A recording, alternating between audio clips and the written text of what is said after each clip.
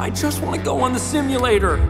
Racing Sports Network presents Rearview Replay with Roy Gage and Erica Dent. This week's replay takes us inside the Rust-eze Racing Center with recently released footage of Lightning McQueen's first simulator session. Lightning can't be happy that this got out. It's sure to get under his paint. Racing simulators have become the new go to training technique that allows cars to experience lifelike racing conditions without ever leaving the building. What's with all this high tech mumbo jumbo, Erica? Where I come from, you learn racing by driving on a real track, not a simulated one. Okay, here we go. Here we go. Going forward, these state of the art simulators will be the go to method racers use to train. What do I do? Go. Go? Go.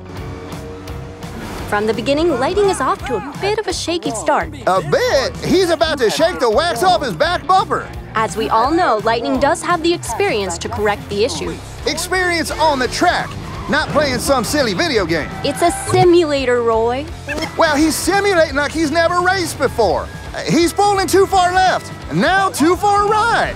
He has no idea what he's doing. One problem could be that Lightning didn't allow himself to be properly trained. And amazingly enough, we have that on tape. I'm warmed up enough, and now I need you to launch this thing. Mr. McQueen, wait until you can handle it, please. There are no shortcuts. Okay, we'll just see about that. Hey, I get it, Lightning. There's only so much you can learn idling in neutral.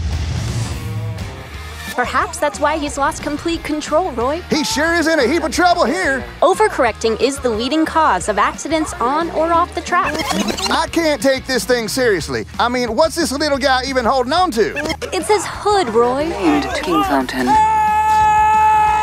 That's a long way down. How many lives are you getting this thing anyway? Lightning's constant overcorrecting has shifted him now into panic mode. Look at that. He's going the wrong way.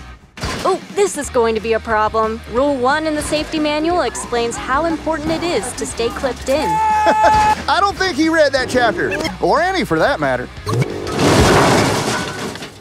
How about this here? Is this overcorrecting? Nope, there is no longer any chance for this to be corrected. You have crashed. Are you all right? You have crashed. I've crashed. You gotta give him credit though. He really did go lights out. Coming up on Racing Sports Network.